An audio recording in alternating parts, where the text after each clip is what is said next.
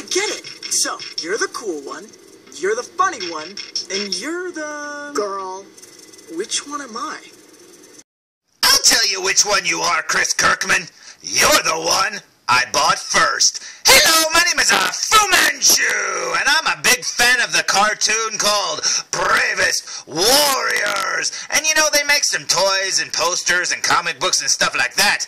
But imagine my surprise when I found out that 3A makes 1-6 scale figures of at least some of them. So I had to have one. And today's review will be on the following.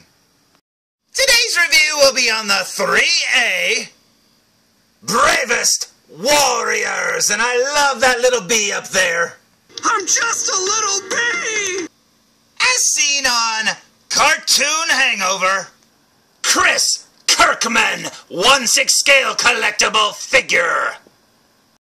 And man, oh man, what a figure it is. Check this out. Not only is it completely cartoon accurate, but it's a 1-6 scale figure with actual fabric clothes. And man, oh man, that is awesome. Now, you wouldn't think that there would be any articulation here with their little noodly arms and noodly legs, but yep, there's supposed to be a wire inside there, and man, oh man, that is awesome. Now, I have to say, when I got this figure in the mail today, it's big, man. This is a really big figure. Now, I know it's 1-6 scale and junk like that, but I didn't expect it to be this heavy and this big. This package is huge. But then again, most 3A packages are really tall. This is awesome. And as you can see, his accessories are his gloved gauntlet hands, and that is awesome. And yeah, that is super cool that he actually has pants that are sewed that tight to his legs and arms with sleeves like that and stuff. That is awesome. Yeah, this figure looks totally cool, and I absolutely love it. Let's flip it around to the back, shall we?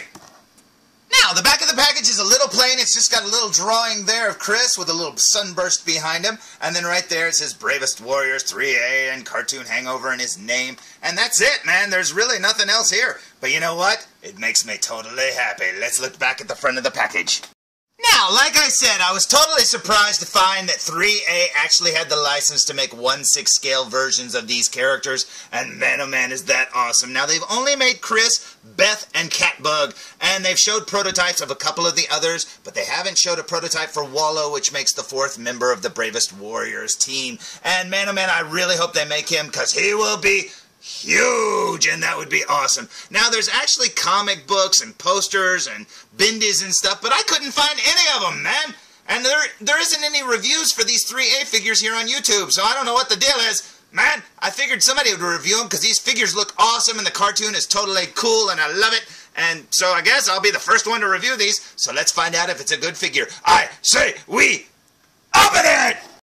Now, after removing this tray, you'll see that there's actually two trays inside of this box, and that is awesome. Because unlike other 3A figures, this one comes with a stand, and that is so cool. I actually wondered how he would stand up with those little feet and those long, skinny legs, but yep, he actually came with a stand, and that is totally awesome. So let's see what else he came with, shall we? Now, behind the figure in the package, you'll also see a little baggie, and I thought this was a little 3A catalog, but actually it's a 3A postcard. And on top of that, you'll see a sticker with the logo that is actually on Little Shadow's t-shirt, and that is awesome. And looky there, on the back of the postcard it actually says Adventure Kartel. It's like they know what I collect. Now, after removing the stand, you'll see a little hole where you're supposed to snap the little arm onto. Well, you can't snap it on entirely. You have to loosen this little screw first, and then you have to pop it together and screw it together. But that shouldn't be that hard. There, it's done. Now, it wasn't hard, but it was a little scary because you have to tighten that screw pretty tight, and since it's clear plastic, I was so afraid it would crack or I would break it. Ugh, man, but you know what? I do wish all of the 3A figures came with these stands because, man, I got a lot of 3A Adventure Kartel figures that don't have stands, and that kind of sucks. Okay, let's check out the figure. So, here's the Chris Kirkman figure stood straight out of the package looking totally awesome. Now, First impressions. Number one, after you open this figure, he actually appears a lot smaller outside of the package as he is inside of the package, which is kind of strange, but you know what? He's still awesome. Number two, there's only articulation at the top of the neck where he's got like a ball jointed neck and the bendiness of his arms and the bendiness of his legs. There is no other articulation there. Now, his torso underneath his shirt appears to be the same plastic that his head's made out of, but everything else is kind of like, you know, a, a glorified bendy.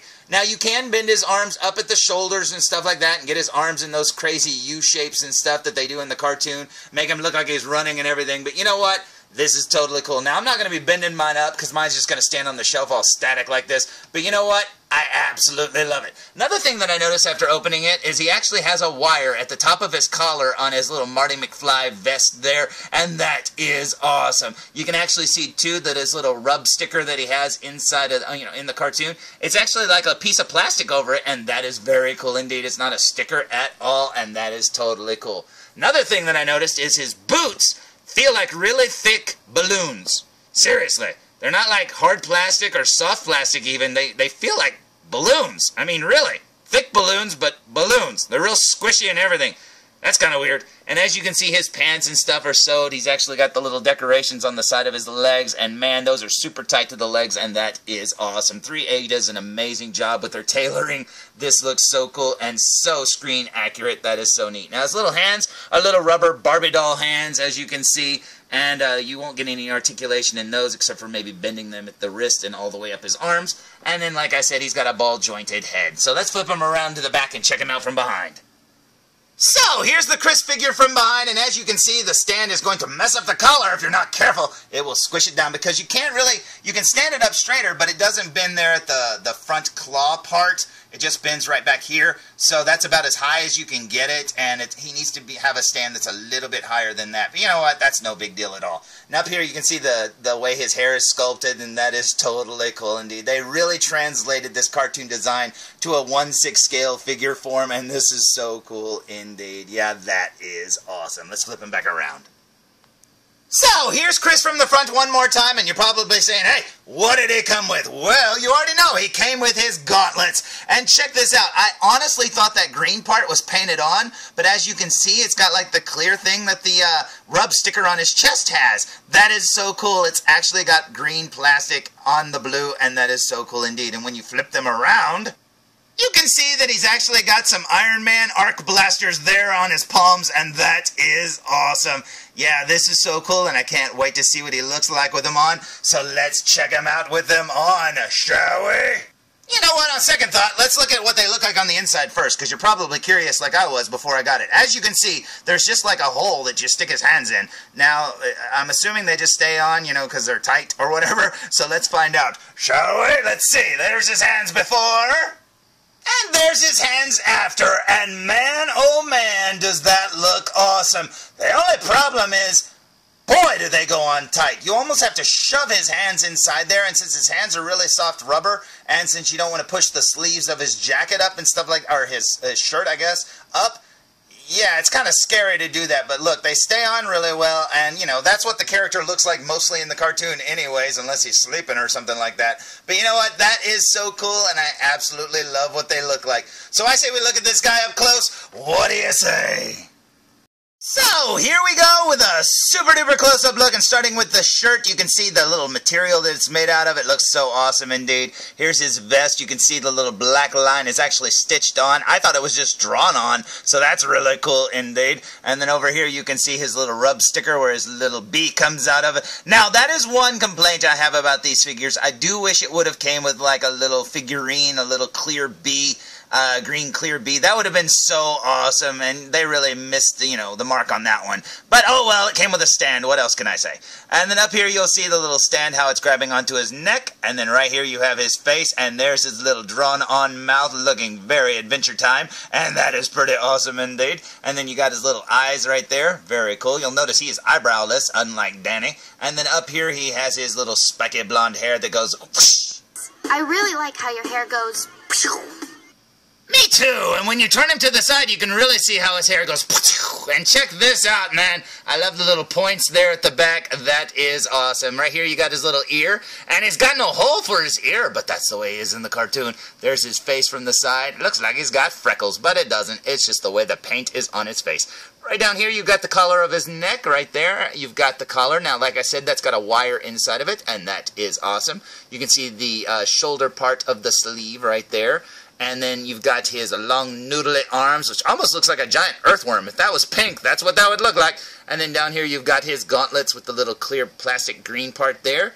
And then right there too. And he's got his little balloon fingers right there, which look very cool indeed. Now, working our way down the front of the figure, you've got his shirt, and then you've got his pants right there. And like I said, I love how tight they're sewed to the body. I mean, they really make these pants look like the way they do in the cartoon. That is so cool. You got this little decoration here on his leg, right there. And then down here you've got his little balloon boots or whatever they are. Now, like I said, these things are very, very weird feeling. They they feel like a balloon, but like I said, a really thick balloon. So yeah, if anything's gonna get ruined on this figure, it'd probably be this because they're kind of sticky and they're like I don't know, they're very balloon-like. So hopefully they'll hold up over time, you know, but if anything's going to deteriorate, I guess it would be that. Right there's his neck, and you can see how it's got the ball jointed right there, and you can see how wide the hole is, so it's got some pretty good, you know, ball jointedness and a lot of articulation there. That is very cool indeed. Down his back, you've got the black line again that's on the back of his jacket, and very cool indeed. You got his pants right there, and working our way down to his feet again, and that is awesome. So, in case you're curious how this figure scales up next to other 1-6 scale figures, here's the figure I just reviewed yesterday. Bleak Mission from Adventure Kartel. Now, both of these figures are made by 3A, and it's really cool to see a 3A figure that doesn't have any weathering on it whatsoever. And man, oh man, that is awesome. Now, as you can see, they're roughly around the same size, albeit this one looks a lot bigger because his big old head and stuff like that. But you know what? These look really cool together. And if you watched my Bleak Mission review yesterday, then you probably remember me saying something about his ankle being very, very loose. Well, I found out why. My figure was broken. That's right, where the ball joint from the shoe connects to the ankle, the ankle peg hole or whatever was broken, and I had to glue it and stuff like that. So hopefully it'll be fine, but you know what? Hey, that happens, and at least it's only happened to me once, but I still like the figure a lot, and these two guys look awesome. Now, like I said, when I found out that 3A had the license to make these figures, I was totally happy and couldn't wait to get one. But I was totally shocked to find out that there were no reviews for these figures on YouTube. Man, I wanted to know how good they were, how big they were, and scale with everything and stuff like that. So, I guess somebody had to do it. So I hope you liked this review. I hope it was okay. And I actually have another one of these figures on the way. I have his almost girlfriend Beth, and man oh man, she should be here any day. I can't wait to see her. So, there's my review for the 3A Bravest Warriors, Chris Kirkman, 1-6 scale figure, and man oh man, do I love this figure. The only thing that sucks is you can't get all four of the Bravest Warriors together on one shelf right now, because like I said, they haven't made Wallow yet, Man, that sucks. And Danny still isn't out. You can just get him, Beth, and Catbug. And you know what? That's good enough for me, but I really hope they make the rest of them because, man, I would love to have all four of them on my shelf. So, until I get Beth in the mail or until I review something else, tune in for more Fu Reviews! come on, Philsman, come on, come on, come on. Let's go have an adventure like the bravest warriors. Let's go! Hey, this is Nolan North. You don't want to miss Fu Reviews. And I'm out.